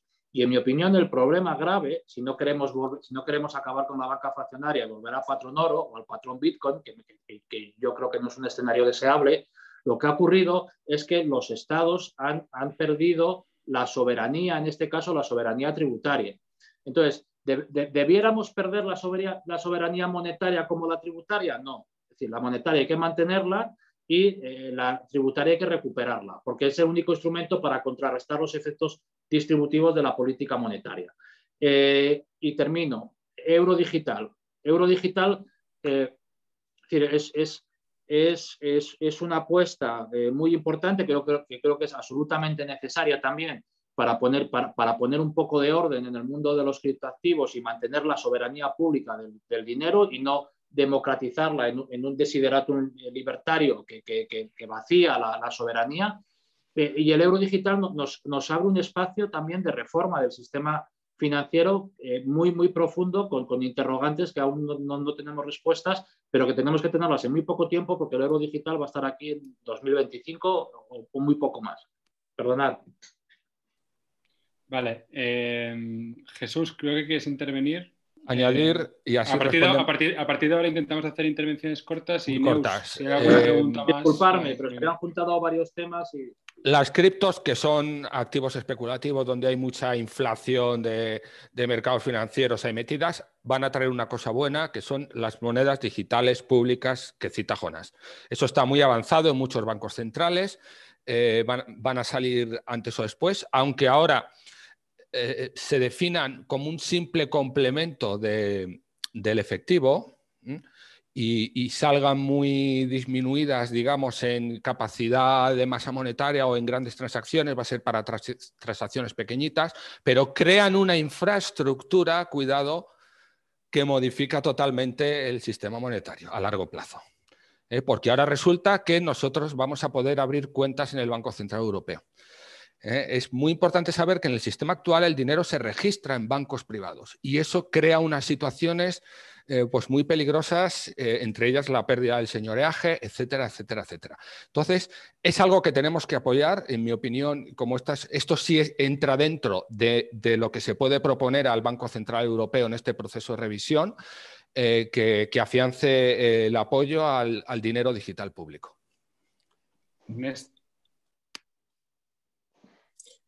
No, en la línea, a ver, yo creo que evidentemente, lo digo para que la gente que nos escucha, yo creo que hay que diferenciar lo que son iniciativas de medios de pago eh, de lo que es eh, de lo que son la, voluntad de tener eh, criptodivisas que, generan la confianza fiduciaria por sí mismas. ¿no? Yo creo que son cosas distintas, igual que las monedas sociales, que son otra cosa completamente distinta. Pero si hablamos de lo que son las criptomonedas con voluntad de ser una divisa, coincido plenamente con Jonas y con, y con Jesús y aquí, eh, para apuntar también lo que decía pues yo creo que el, gran interrogante que nadie sabe resolvernos con la creación de las monedas digitales públicas es qué ocurre con los depósitos. Para responder un poco a, tu, a, lo que planteabas ahora. Los grandes amenazados son los depósitos. A partir del momento que tú puedes tener efectivo en digital, eh, ¿para qué te sirve un depósito? ¿no? Ah, o en cualquier caso, si ya tienes un depósito en el Banco Central Europeo, ¿para qué lo vas a tener en la banca privada? ¿no? Digamos. Yo creo que tiene razón Jesús que ahí se va a abrir un, un debate, um, un debate importante eh, que va a cambiar bastante cómo funciona el sistema financiero privado. ¿no? Uh, y de hecho, cuando tuvimos el, el debate de, el de, tuvimos un debate en una visita que hicimos al Banco Central Europeo sobre el, el futuro euro virtual, los responsables del Banco Central Europeo no sabían explicarnos muy bien cuál era el sentido de, los depósitos en un nuevo mundo en el cual eh, eh, había euros virtuales. Yo creo que ahí es donde va a haber un, gran debate. Susana, sí, sí, por supuesto. Eh, bueno, muchas gracias. me, me, gusta mucho lo que estáis diciendo todos son matices, pero eh, es importante hacerlos, ¿no? Entonces, yo creo que es muy importante sobre lo que ha dicho Jonás, que, mm, yo coincido, ¿eh? O sea, eh, el tema es que no creo que tengamos que elegir entre volver al patrón oro, cosa que para mí es totalmente indeseable. O sea, cuando hablé de, que se rompió el patrón oro a causa de la guerra de Vietnam, no era para por defenderlo en absoluto, o sea, era simplemente una, una apreciación que, es que fue así. Eh, pero vamos, que no creo que haya que elegir entre, entre volver al patrón oro y, dejar las cosas como están. Creo que efectivamente justo lo que acaba de decir Ernest es totalmente cierto. O sea, ¿por qué tenemos que tener un sistema de dos pisos en el que tenemos el Banco Central, después eh, de, eh, tenemos a los bancos y los bancos después nosotros hacemos los depósitos en los bancos y los bancos en el Banco Central, eh, y después hay que liquidar las, eh, en el mercado mayorista las transacciones, o sea, todo eso eh, no ha cambiado gracias a Internet, cosa que mm, en todos los sectores se han, se han visto afectados por, por, por, la emergencia de Internet, sin embargo, este sistema totalmente digital no, se ha, no ha cambiado en absoluto. Mm, su funcionamiento. Y eso yo en gran medida creo que es por lo que decía eh, Jesús Manuel al principio, que es la gran desconocimiento que hay y, lo que, y, el hecho de que está todo regulado. Entonces, yo creo que sí que hay un hueco para, para entrar, eh, digamos, para tener, primero, yo creo que necesitamos monedas complementarias. O sea, no creo que haya el plan B de Varoufakis, era una buena idea, era una forma de, equilibrar desequilibrios de balanza de pagos en una zona monetaria única que mm, la única otra vía es la deflación. Y eso es lo que al final ocurrió, la deflación. La deflación dolorosísima para todos los agentes económicos em, no bancarios, claro, incluso para los bancarios. Eh, entonces, yo creo que eso es necesario. Y luego, además, em, bueno, pues metidas, digamos, eh, eh, digamos dentro del sistema actual, o sea, haciéndolas convivir con la moneda convencional, pues creo que tienen sentido. No se trata de, generar esas eh, bolsas totalmente desreguladas al margen, que además, por lo tanto, por, además por otro lado no se pueden, no se pueden parar. ¿eh? O sea, que esto es, otra, esto es una realidad con la que hay que aprender a vivir. Otra cosa es que tengan relevancia en la economía real. Y yo creo que la relevancia en la economía real la tendrán siempre que el Banco Central y el sistema bancario no evolucione si no evoluciona, pues a lo mejor ese tipo de, oportunidades que ofrecen ese tipo de criptoactivos se materializarán mucho más que si eh, nuestro sistema financiero y monetario se adapta aprovechando esas, posibilidades. Y para mí el objetivo es claro, es añadir eh, fórmulas de financiación que no sean solo el crédito bancario. ¿Por qué tienen que tener los bancos la exclusiva de crear el dinero? ¿Por qué? Porque no hay ninguna razón. O sea, ¿por qué no generamos mecanismos de financiación que, digamos, armonizados con, las propias, con la moneda convencional y con, las instituciones, pero que permitan que otro tipo de actores también creen dinero? digamos, de acuerdo a las regulaciones y a lo que se pueda establecer como criterio para que eso sea estable, etcétera. Pero pero mm. afectaría enormemente al precio, sin duda, y, afectaría enormemente a, los, a, las cuestiones distributivas que hemos hablado antes. Bueno, por lo menos ese es la, mi punto de vista. Eh, Jonás, ¿quiere responder? Eh, estamos llegando un poco al final. Yo quiero también aportar aquí algo. Yo creo que la gente normalmente piensa en el dinero también como... Em, ¿Para qué me sirve para la economía productiva? ¿Para qué sirve para el cambio climático? ¿No? Hay dinero, ¿qué, qué, hacemos para, los objetivos sociales? Y volviendo al tema de la generación de dinero, ¿quién lo genera? Un poco el rol de, fuera de la banca comercial, los, no diría banca pública, pero digamos la capacidad de las instituciones públicas para generar crédito a la sociedad eh, para ir a los objetivos que nos podamos marcar ¿no? Eh, y que no dependa tanto de los circuitos financieros. No sé si es relevante para vosotros esto en este debate, pero bueno, también para meterlo ahí si alguien quiere coger el guante. Jonás. Sí, vamos, yo creo que eh, vamos, un, asunto son, son las monedas sociales a las que hacía referencia Ernest eh, antes y creo que, que, nos está siguiendo alguna persona, creía entender al inicio, que, ¿no? que está en, proyectos ¿no? de, monedas sociales, de mejora del, del comercio local y este tipo de instrumentos, que yo creo que eso es un tema eh, aparte. Eh, eh, ahora bien, yo, no conozco ninguna sociedad que haya convivido con, monedas paralelas o con monedas complementarias y que aquello no haya acabado mal. porque como decir, desde, desde la época de los romanos ¿no? sabemos que la moneda mala sustituye a la buena. esto Argentina, ¿Argentina no sería un ejemplo con dólares y pesos un poco? sí, un ejemplo de lo que no deberíamos hacer. Eh, eh, entonces, el, o Ecuador, que está absolutamente dolarizada y no tiene política monetaria, ¿no? Y cuando suban los tipos de interés en la Reserva Federal, ahí se van a ir al agujero otra vez, ¿no?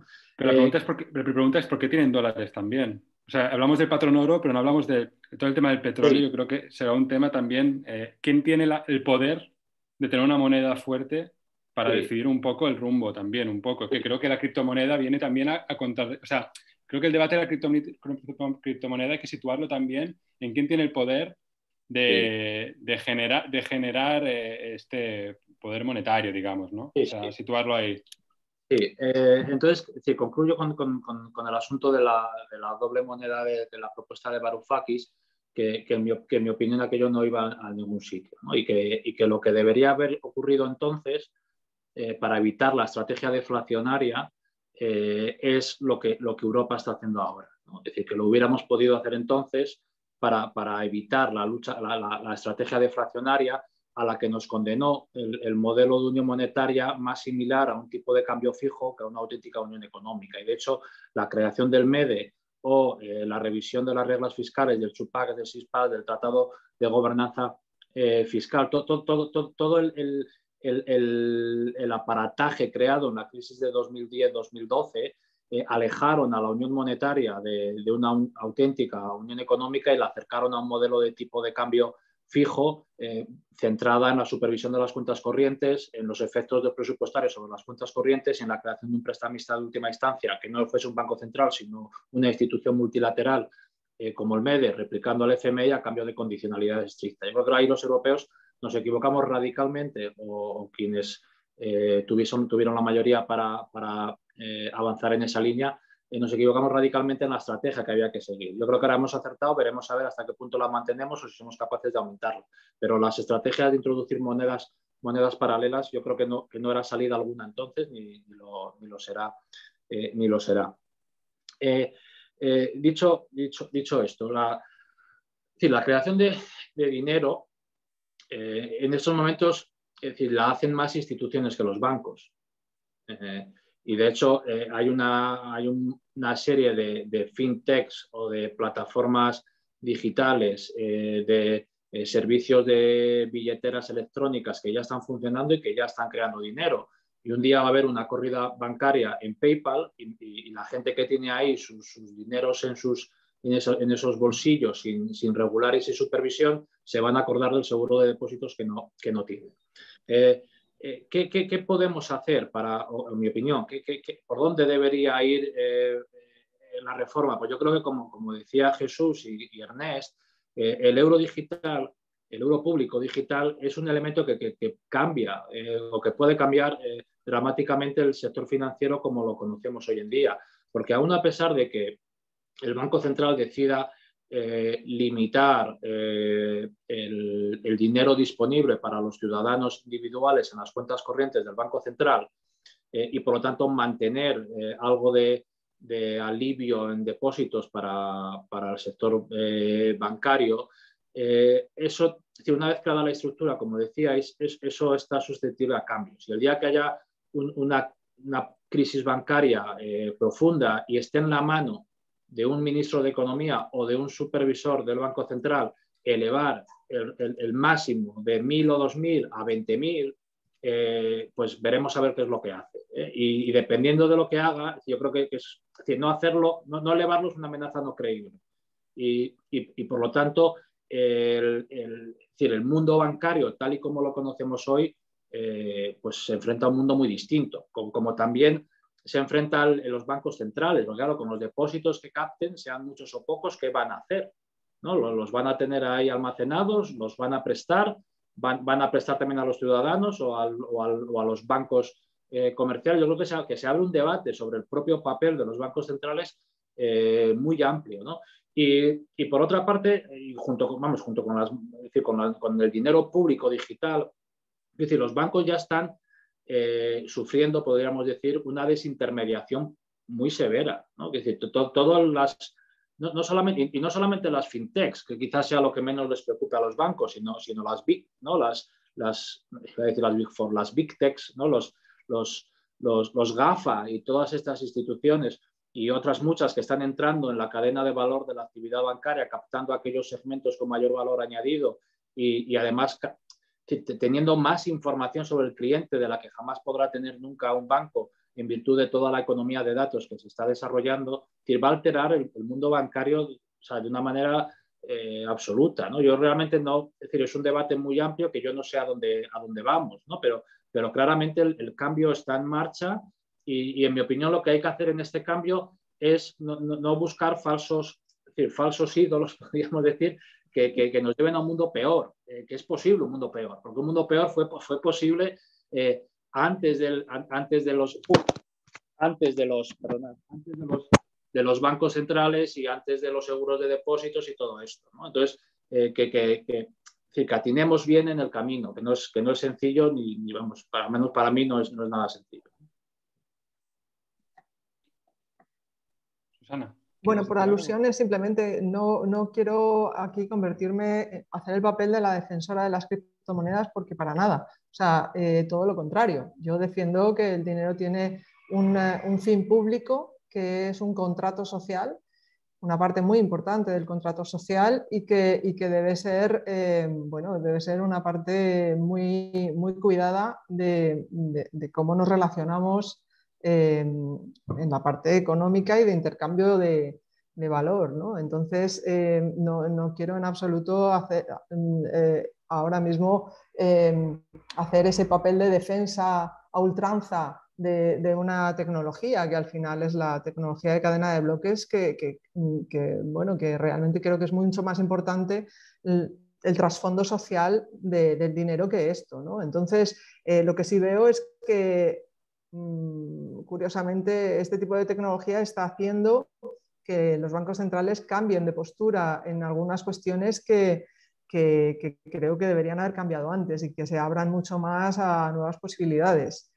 Em, a mí realmente lo que me parece importante es que los aspectos distributivos y la capacidad de, la ciudadanía de, de, elegir cómo quieren definir económicamente su futuro, Creo que esto tiene mucho que ver con el dinero y creo que ahora mismo tenemos un sistema en el cual hay un imperativo de crecimiento económico en gran medida, en gran medida impulsado desde el, sistema financiero que con este mecanismo de creación monetaria mediante la deuda, que, eso, por más que todos los tratados europeos estén buscando la protección de los consumidores y, lo que no, nos protegen es de, que estemos obligados a embarcarnos en esa, en esa dinámica mm, a la fuerza. Y creo que, este tipo de movimientos deberían servir para, eh, para, mm, para, ayudar a que la gente sea más capaz, de, sea, para que el sistema democrático sea, el sistema monetario sea mucho más democrático desde mi punto de vista y que responda más a los intereses de, de la ciudadanía en gran medida pues, a través de los, del Parlamento Europeo, por supuesto, y, a través de nuestros gobiernos, y, pero también directamente, es decir, con, con posibilidades de, financiar la economía real, la economía sostenible, la economía em, de bueno, las posibilidades que se pueden llegar a, a, producir y que no se producen. ¿no? Entonces, por falta de, de monedas que se, que se adapten a, a estos nuevos circuitos económicos. Mm, esto, es un poco lo que yo querría simplemente destacar, pero, pero coincido que es un, es un debate enorme y que, bueno, aquí estamos abriendo solamente algunas ideas para, pues, para que después la gente pueda explorar más y hay mucho donde explorar también. Eh, estamos ya, son las 7.45 entonces, eh, el chat no ha sido muy activo, ¿no, Neus? Creo que hoy resuelto todas las dudas. Sí, sí, hoy, hoy han dejado hablar. Tanto porque hay muchos panelistas hoy también, ¿eh? el otro día solo habían menos. Y, bueno, y sí, pero bueno, se ha contestado y quizás que han, contestado lo que los, los, que los participantes querían preguntar, ¿no? También, no sé. Sí, bueno, yo para un poco, yo creo que Jonás y Susana han hecho unas intervenciones ya, digamos que yo creo que me gustaría dejar a Jesús y si quieren hacer aquí una, última intervención cortita también sobre todo este tema o sobre cualquier tema sobre la democratización del, BCE. No, simplemente reafirmarme que quizá el, el camino más interesante se abre con la moneda digital pública, que aunque va a empezar siendo un, algo para comprar el periódico, el pan y tal, pero crea una infraestructura que, puede dar muchísimo, muchísimo juego. Y hay que considerar la moneda digital pública abre un escenario geopolítico también, ¿eh? porque las grandes potencias van a tener su moneda digital pública y pueden entrar en, luchas mundiales por, por, quedarse con otros países ¿eh? y decir, ahora yo mi moneda digital pública la voy a llevar a África, la voy a llevar a América del Sur, por ejemplo, en fin, entonces Simplemente y, eh, al público que hace las, las peticiones al Banco Central Europeo, eh, yo creo que puede, puede reforzar el, propio proyecto que tiene el Banco Central Europeo apoyándolo sobre moneda digital pública. Bien, no, yo, para terminar me, parece que una idea, una idea importante, y además lo, Jonás eh, lo ha explicado estupendamente, me parece que lo que no podemos renunciar es, a la soberanía monetaria ¿no? y, a, un instrumento que es fundamental de, política económica y a que el dinero sea un bien público de gestión compartida. Después, a partir de aquí, evidentemente, hay toda una serie de reformas del sistema financiero eh, que van a generar, empezando por el euro digital y de democratización del uso del dinero y de que los efectos distributivos que tiene, del papel de la política monetaria en el cambio climático, etcétera, etcétera, que necesitamos afrontar, desde luego, ¿no? pero siempre entendiendo el dinero como un bien público y algo que forma parte de la soberanía de, los países y en nuestro caso de, Europa. ¿no? Yo creo que esa idea es importante. Muy bien. Jonás, venga, dale. Eh, ah, no, no, vamos, simplemente agradeceros este rato, eh, me lo he pasado muy bien, eh, creo que, ha cumplido su función, al menos, al menos para mí. Vamos, yo, tampoco quería parecer como el gran enemigo de los criptoactivos, aunque, aunque eh, me, me, he asumido ese papel, ¿no? Yo creo que, que juegan un papel en, innovar, en encontrar vías adicionales de financiación. Yo creo que no debemos confundir la creación de dinero con vías adicionales de financiación no bancaria, que, que, también que son dos cosas distintas. Eh, ahora bien, eh, entendiendo que este mundo está aquí, que, se va a quedar, que, necesitamos una regulación en la que estamos trabajando. Por otra parte, yo, yo, no yo, no simpatizo mucho, como habréis visto, en, una confianza de, que este tipo de instrumentos sean una vía para mejorar la capacidad de las personas para definir cómo quieren tener la relación con el sector financiero y tal, porque eh, en mi opinión esa individualización al final de las, de las, de las percepciones personales sobre su propia vida eh, inciden o, o, de alguna manera reducen, y aquí me voy a poner muy socialdemócrata, en, erosionar aún más la conciencia de clase o la, acción colectiva, la soberanía. Es decir, que son cosas que a veces se, pierden un poco en este, en este mundo, en este debate tecnológico actual, donde todos nos creemos empoderados a muchas cosas y, al final nos damos cuenta de que no estamos empoderados en nada y que la única manera de empoderarnos es ¿no? la, acción conjunta y yo creo que está muy bien las asociaciones y los partidos y los en fin, todas estas cosas y que, como digo, son una parte importante que están aquí, que hay que regular y que tendrán su desarrollo, eh, pero como decía Ernest, eh, la soberanía es, es, muy importante ¿no? y que, y que, y que eh, ciertos sueños de, liberación individual, por así decirlo, como, como socialdemócrata digo, creo que, que, que no van en, en, la dirección de, de, mejorar la, la, recuperación del poder, que eso es otra. ¿no? el take back control usaron los brexiteros y que todos deberíamos usar para defender a la Unión, para defender el euro digital, para defender la recuperación de la soberanía tributaria y otra serie de cosas que, se exceden, ¿no? que salen del, marco de este debate. Así que muchas gracias y, ha sido un placer. Bueno, muchas gracias. Ha sido súper eh, eh, informativo y muy interesante para mí. Y nada más. Eh, gracias, gracias a todos. Gracias a todos, Susana, a Jesús, porque habéis aportado esta, ¿no? esta visión más alternativa, por decir de alguna forma, y a Ernest y a Jonás, porque seguro que su tiempo es oro. Ah, y antes de, y a David, evidentemente, a David porque lo ha hecho muy bien, David deciros antes, antes de marchar que os, que os invitamos, repito, os invitamos a que os registréis a la asamblea. Ah, está pensada para cualquier persona, no, no está pensada para expertos. Esto lo queremos repetir muchas veces y vais a encontrar un ambiente ameno, acompañado de otros, de otros ciudadanos como vosotros y con facilitadores y con una guía de expertos. Susana va a estar allí, David va a estar allí y unos cuantos facilitadores más, todos os van a ayudar. O sea que aquí, por favor, que nadie se corte porque está hecho para, para todos. Y también invitaros el martes de la semana que viene, día 1 de junio, a la misma hora de hoy, a las 6, eh, va a haber el cuarto webinar mm, con el título ¿Qué podría hacer el Banco Central Europeo en la transición a un modelo económico sostenible, precisamente? O sea que aquí estaremos. Muchas gracias a todos y hasta la próxima semana. Adiós. Gracias. Adiós. Adiós.